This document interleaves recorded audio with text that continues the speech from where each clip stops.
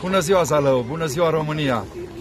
Numele meu este Ioan Godja, trăiesc aici în Austria din anii lui 91 și iată, la această oră când alții stau și beau ceai ferbinte, eu m-am trezit cu un grup de oameni aici care sunt uh, oarecum îndurerați de faptul că ceea ce s-a întâmplat uh, cu câteva zile în urmă, cu votul uh, primului ministru din uh, Austria. Așadar, noi am venit acest grup de oameni să ne spunem uh, oful pe care îl avem pe suflet.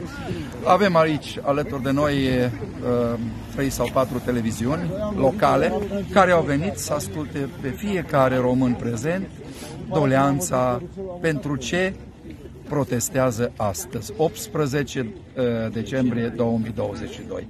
Așadar, cei care simțiți la fel ca și noi, alăturați-vă.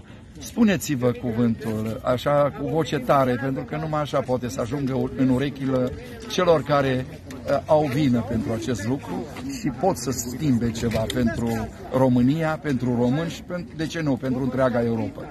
Așadar, vă urez toate cele bune, fiind în preajma sărbătorilor de Crăciun, vă urez un Crăciun fericit, sărbători cu bine și un an nou mult mai prosper, mai fericit și mai bucuros pentru toată lumea. Sănătate și mult bine!